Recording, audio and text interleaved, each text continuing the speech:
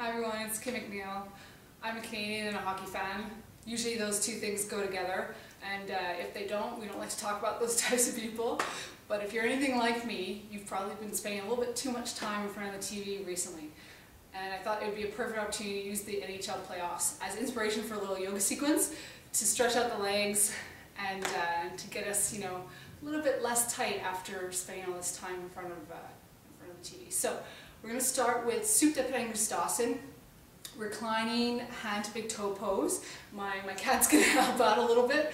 Uh, what you need, comfortable space, you don't necessarily need a mat, just a little bit of room to spread out, and a strap if you tend to be a little bit tighter in the backs of the legs for this first, uh, first pose. Um, you don't specifically need a yoga strap. They're nice though that you can make a loop and adjust it depending on how you feel each day.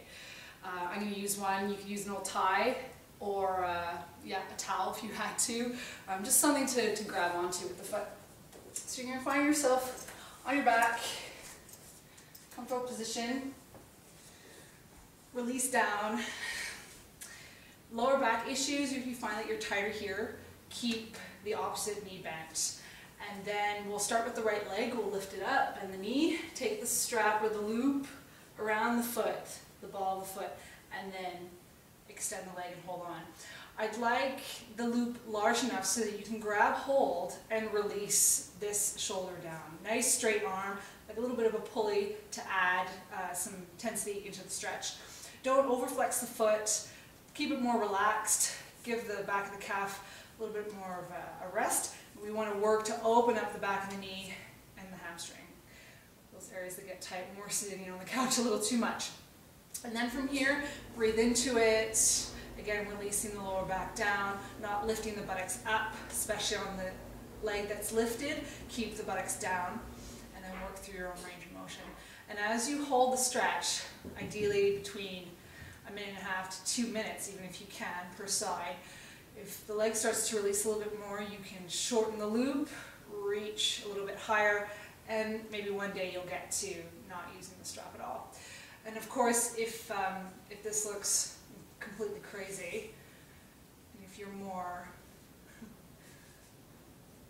say down here, that's okay too. Again, adjust the straps, you can hang on comfortably, right shoulder down, lower back and buttocks down. That's really the only thing that's important, not how high the leg is lifted. You want to make sure that you get a stretch through the back of the leg and you've done your job. If you are lower than 90 degrees here with the leg, uh, there's always the option, and I love this option, to use the wall for support for the back of the heel. Makes it a little less intense.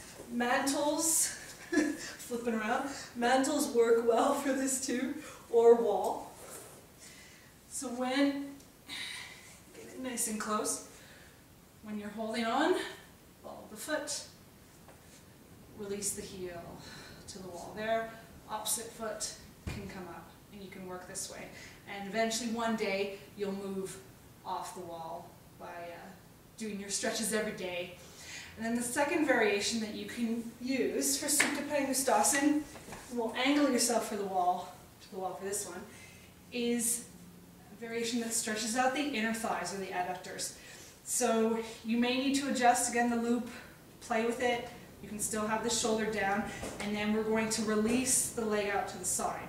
So if you're tighter, You'll come in closer to the wall, back of the heel is going to rest, lower back down, opposite buttock down, so you're not twisting and lifting up towards the wall. Okay, ground and hold here.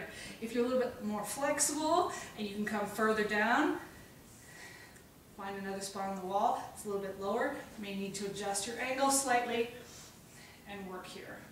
Okay, and then one day you won't need the strap, you won't need the wall and you'll come right down to the floor. It's just giving you a little bit of extra support, better than a bolster under the thigh to keep that leg working and straight and, uh, and to hold I find a little bit longer. Okay? And of course you'll want to come up and do the other side.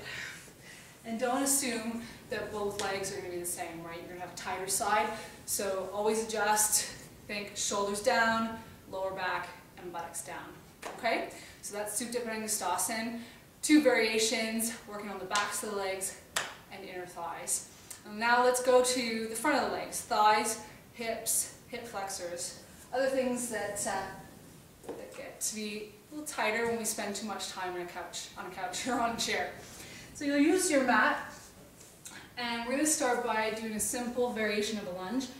Roll one end of it up, so it's about halfway rolled up. Depends on the thickness, but you can adjust that as you go along. So no magic here. Roll mat. If it's older, not as thick, you may have to roll it a little bit more tightly. And then you're going to place, when you kneel for your lunge, place the top of the shin, not the knee, top of the shin on the rolled portion of the mat, and knee off. That's going to support the knee. So you're barely touching down with, uh, with your knee, your back knee, just softly touching the mat, shin is supported, and then no pain in the knee. Okay? So then once you're here, you come up, shoulders over the hips, pelvic tuck. So I really want you to pay attention to this area. Okay? Pelvic bones draw in and up, buttocks down, and you should be able to feel this through the front of the thigh and ideally the hip flexor. Okay? Hip flexors. Now, you can lean into it slightly, and by leaning I don't mean coming down over the leg this way. Keep your body up, but press gently that back thigh forward, and intensify the stretch here. And you know, if you're impressed by hockey players, especially the goalies with their flexibility, you know they're doing stretches at least similar like this um, as part of their routine. So make sure you do both sides. You can also work on a basic lunge, so you don't need the rolled mat unless you want support under the knee. Basic lunge, one foot forward, knee over the front heel. This time the hip, back hip comes forward from the knee, so it's not directly over. You still want to think, tuck the tailbone. Pelvic bones up, buttocks dropping down, and you can always use support under the hands if you're not as flexible here. Okay, if you tend to round the back to touch down. So holding here, and then make it a little bit more intense, tucking the toes. It's nice to take the weight off the heel, but then it's more active, right? Pressing back through the heel, thinking of drawing the back inner thigh up towards the ceiling so you're not rolling and twisting out to the side. Keep that nice tight lunge. Work on the hip flexors. Find your happy place. Work through both sides, of course. You don't want to neglect any, any part of either leg. And there you have it. Do that every day. Say once per game that you watch in the playoffs, do this routine. Both legs, Supta Padangusthasana, and lunge variation. You can almost call it a Virabhadrasana one variation, warrior one. And I swear your legs will be feeling much better, and there won't be so much guilt about spending so much time in front of the TV. Thanks, guys. Go Habs.